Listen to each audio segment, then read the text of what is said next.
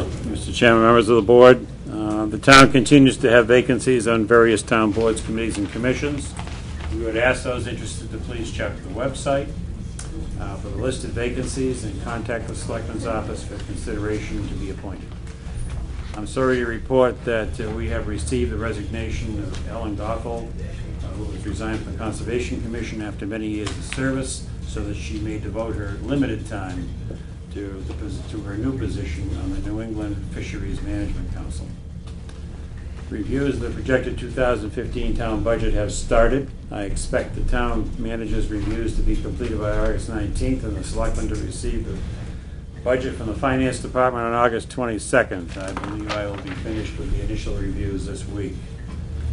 Uh, I've been investigating the insurance requirements for the licensing of taxis, and I'm finding that the average insurance requirements are $500,000 per cab.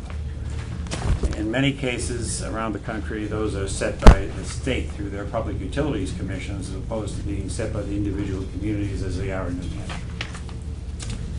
I'll be on vacation for part of the month of September and would request that the chief of police be appointed as the acting town manager from September 16th to Sep- September 29th.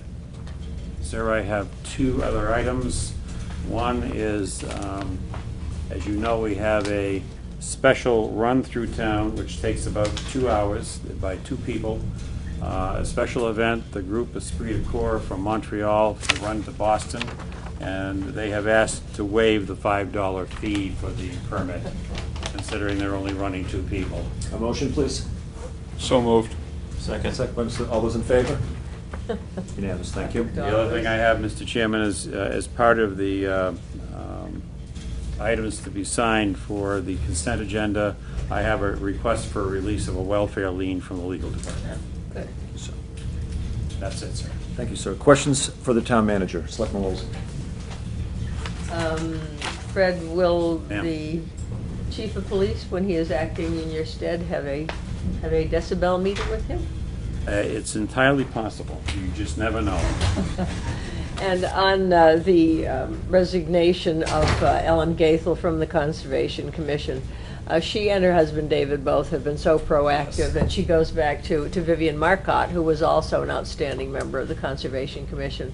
And uh, she has uh, certainly had an extraordinary career uh, in advocating for the conservation effort, and I, I congratulate her, and I think this board uh, shares in my, in my feeling. Uh, She's uh, given so much of herself to this community, and uh, I think we really uh, should, exp- actually, if we could maybe get a letter together for It's already Ellen. taken care of. Oh, excellent. See, see, you're way ahead of us.